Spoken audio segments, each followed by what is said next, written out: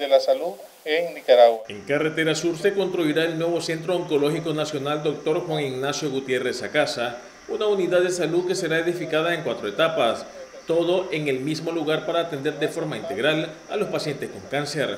Porque vamos a contar con un centro de alta tecnología, con muchos equipos de alta tecnología cuando hablamos de eh, eh, secuenciadores, tomógrafos, eh, aceleradores lineales, distintos tipos de equipos de alta tecnología las instalaciones serán completas con capacidad de atención del total de pacientes de cáncer del país, realizando neurocirugía oncológicas menores, quimioterapias, radioterapias y la infraestructura incluye 200 camas para hospitalización y un albergue.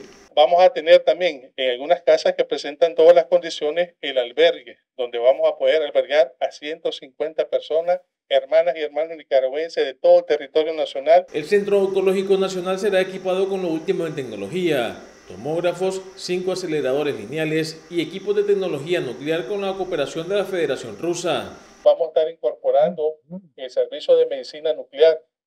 Estos son, eh, son procesos, son estrategias de atención bastante novedosas donde nosotros vamos a ocupar los radioisótopos.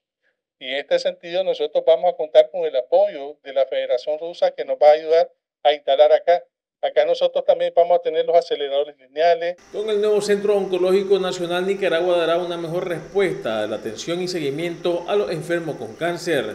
La primera etapa está prevista ser inaugurada el 8 de marzo de 2025. Héctor Calero, TV Noticias.